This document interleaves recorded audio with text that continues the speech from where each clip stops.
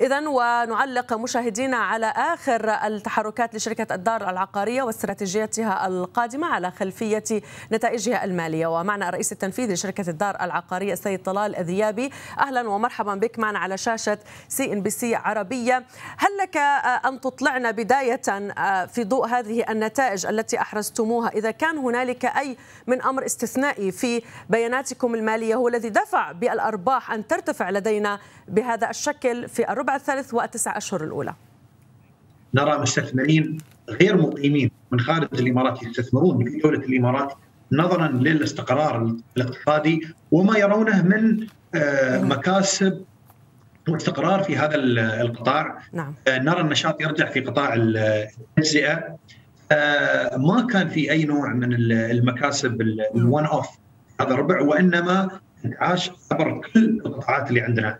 في المدارس في إدارة العقارات البيع بالتجزئة المبيعات.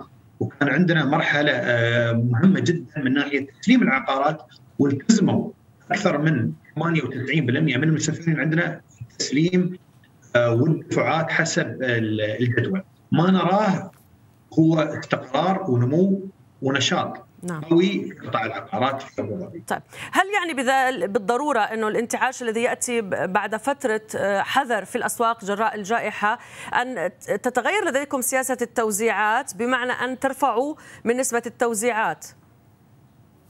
نحن عندنا سياسة واضحة في التوزيعات لآخر تسع سنوات من الشركات القليله اللي في السوق اللي التزمت بسياسة واضحة وكان عندنا توزيعات كل سنة تزيد أو تكون بنفس السنة اللي اللي قبلها. نحن لا نرى أي سبب في تغيير السياسة وبناء على هذه النتائج اللي نشوفها وين نتوقع نكون في نهاية السنة المستثمرين اللي عندنا بيكون عندهم رؤية واضحة للاستمرارية في هذه التوزيعات. في 2021 بالاهميه اليوم نحن عندنا revenue backlog أيضا ب 5.9 مليار فهم بيكون عندهم رؤية واضحة لنتائج الشركة في 2022 و2023 وما بعده. نعم. طيب خلينا نذكر يعني أنا دخلت في البيانات القوائم المالية من أحد أسباب أيضا ما تم إضافته لل assets عندكم في الشركة لا أدري إذا صنفتموه كقيمة دفترية أو ممكن حسب في نطاق الأرباح. كان عندكم صفقة حققتم منها مكسب حدود 99 مليون ونص مليون درهم مقابل لا شيء. هل هي تسوية دين مع أحد الأطراف؟ لا هذه كانت في الربع الأول صفقة الاستحواذ على شركة وتحويل بعض العقود. اللي يتم إدارتها من قبل شركة الدار. محفظة ال 40 مليار من المشاريع اللي تديرها شركة الدار. فكان في الربع الأول من من هذا السنة جزء من تحويل المشاريع الرأسمالية اللي تكون تحت إدارة شركة الدار.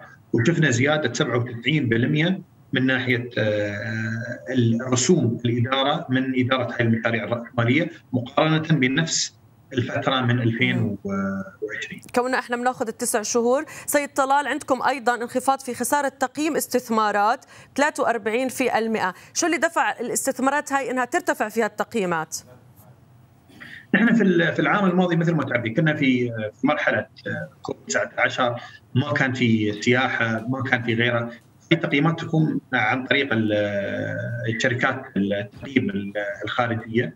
اليوم نحن يعني في العام الماضي يمكن كان عندنا ابروتش يعني كان متحفظ أكثر من التفاؤل اللي نحن نشوفه اليوم في الأسواق والانتعاش من ناحية مش بس رؤيتنا ولكن الأرقام اللي نحن نشوفها اليوم من ناحية الإيجارات سواء في المكاتب سواء في المشاريع السكنيه أو محلات البيع بالتجزئة أو الزوار إلى الفنادق، شفنا حركة أيضا من ناحية الفعاليات في أبو ظبي نعم. عندنا ال UFC كان عندنا هارلم وعندنا الفورمولا 1 اللي بالجهات المعنية رفعت نسبة الاشغال إلى 100% في ليكون الحدث إن شاء الله في أول أسبوع من شهر إن شاء الله التعويض يكون قريب. أذهب إلى مشاريعكم واستحواذاتكم. مهتمين أنتم من فترة بشركة شركة السادس من أكتوبر المصرية أو صدك قدمتم عرض للاستحواذ إجباري. السعر كان 20 جنيه. ونسمع بأنكم تنتظرون الرد من هيئة الأوراق المالية. هل الاعتراض من الأطراف تلك سيكون على السعر؟ هم شايفين قيمة عادلة مختلفة. هل ممكن عندكم مجال تبحبحوا؟ تروحوها شوي يعني ترفعوا السعر من 20 جنيه ل 24 جنيه. هل لسه مهتمين بصفقة سودك؟ نحن مهتمين جدا في السوق المصري آه، وخاصة في القطاع العقاري في في مصر. وقدمنا العرض وما نراه أنه هو عرض آه، جيد جدا للمساهمين. نحن لم يصلنا أي آه، ملاحظات على العرض اللي نحن قدمناه. نتبين الموافقات والإجراءات النهائية من هيئة الرقابة المالية ونحن في تواصل مستمر. متوقعين هذا خلال الأسابيع المقبلة أن يعطونا الموافقة بحيث أن المساهمين بيكون عندهم الفرصة سواء لبيع السهم عشان نعرف إذا نحن قدرنا آه، نستحوذ على آه، ما هو ما بين 51 إلى 90% من آه، من شركة سودك. لا زلنا مهتمين فيه ما عندنا أي نية لرفع سعر ولكن في وجود سودك أو غيره نحن مستمرين إن شاء الله في الاستثمار السوق المصري وفي نفس الوقت عندنا ما يقرب أكثر من 5 مليار درهم اليوم كمحفظه موجودة للاستحواذ سواء على أصول أو على شركات أخرى في قطاع العقارات سواء داخل الدولة أو خارج الدولة ونرى فرص آه، كثيرة آه، إن شاء الله نغتنمها في خلال الأشهر القادمة. طيب هل ممكن نطلع على هذه الفرص اللي درستوها وممكن توظفوا فيها الخمس مليارات؟ عندنا مثل ما ذكرت عندنا فرص آه، سواء في من الأصول نرى اليوم إن عندنا أصول متنوعة المشاريع السكنية، المشاريع البيع البيع بالتجزئه وأيضا آه، بعض الفنادق القائمة وفي نفس الوقت آه، في بعض الشركات العقارية داخل يعني خارج الدولة أكثرها ممكن يكون في فرصة الاستحواذ مثل آه، مثل شركة سوتك. نحن حاليا ندرسها ما عندنا أي شيء نعلنه اليوم إلى ما نوصل إلى مراحل متقدمة وملتزمين بالإفصاح للمساهمين آه، مثل ما عودناهم دائما. سو so, أنتم بالنسبة لسودك تنتظروا الرد من هيئة الأوراق المالية مش من سودك حاليا.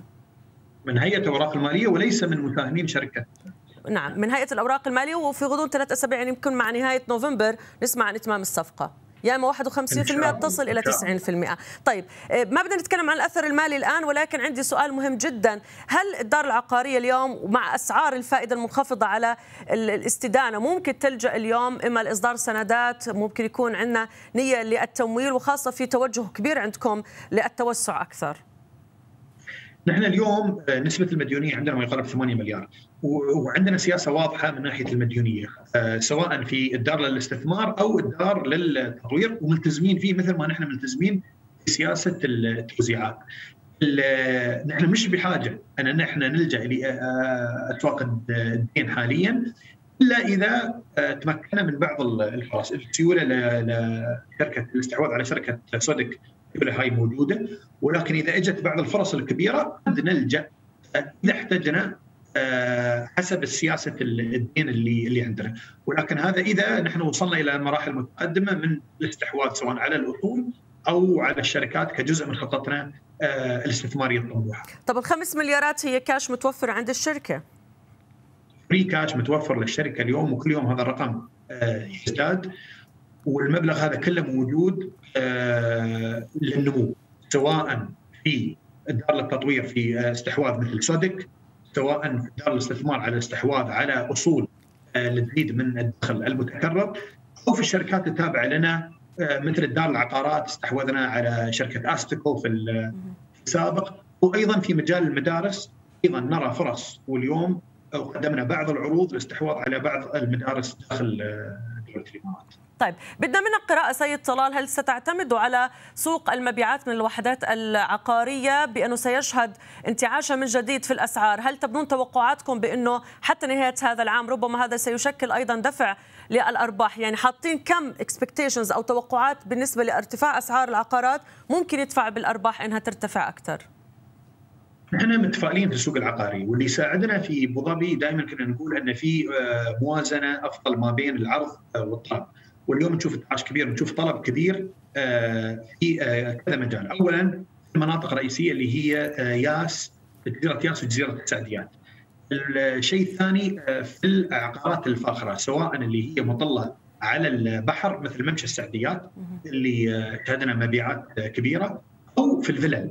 الفلل نزل عليهم طلب كبير مثل ما شاهدنا وبعنا في بعض المشاريع مثل نويا وياس إيكرز والقرب في 2021 ولا زلنا نرى طلب أيضا على المشاريع ذات الدخل المتوسط نعم. مثل مشاريع Water's Edge ومشاريع الغدير. نحن اليوم سياسة الشركة عندنا أكثر من مشروع في السوق في اي أي وقت ونستهدف شريحة كبيرة من المستثمرين داخل الدولة واليوم مع الأنظمة الجديده سواء التنظيم العقاري أو قانون اليوم الجولدن فيزا اليوم شهدنا طلب أكبر من مثل ما ذكرت المستثمرين الغير مقيمين نعم. للشراء استثمارات والاستثمار في السوق العقاري في دولة الإمارات وفي أبو ظبي تحديدا. طب ممكن سيد طلال تخبرنا عن محفظتكم اليوم كيف تتوزع وشو ناويين إنه هاي المحفظة إما تتوسعوا في نطاق أكثر من الثاني، شو اللي يغلب على وزن المحفظة عندكم أكثر؟ اليوم في آه، شركه الدار للاستثمار عندنا آه، ثلاث قطاعات رئيسية اللي هي المشاريع السكنية. عندنا ما يقارب 6000 وحدة سكنية. نسبة الاشغال فيها 89% عندنا المحفظة اللي هي البيع بالتجزئه وأهم المشاريع هي ياس مول وأيضا نسبة الاشغال فيها اليوم حول 90% والمكاتب اللي هي بحدود ال 88 أو 98 89 عفوا بالمية نسبة الاشغال فيها. نرى اليوم فرص في جميع هالقطاعات الثلاث اللي هي تحت الدار. آه، للاستثمارات العقارية.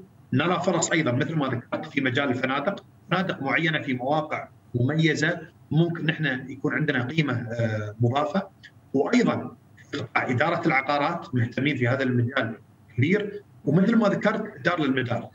إحنا عندنا توسع ولكن لابد أن يكون عندنا تنوع، ما بنستثمر في مجال واحد فقط ولكن يهمنا في هذه المحفظة أن دائما يكون عندنا دخل متكرر ولكن متنوع. من جميع القطاعات بالإضافة إلى مشاريع البيع الأوف بلان من شركة الدار أنا بشكر وقتك وأيضا أتمنى لكم كل التوفيق سيد طلال الذيباني وأنت الرئيس التنفيذي لشركة الدار العقاري. شكرا جزيلا لك.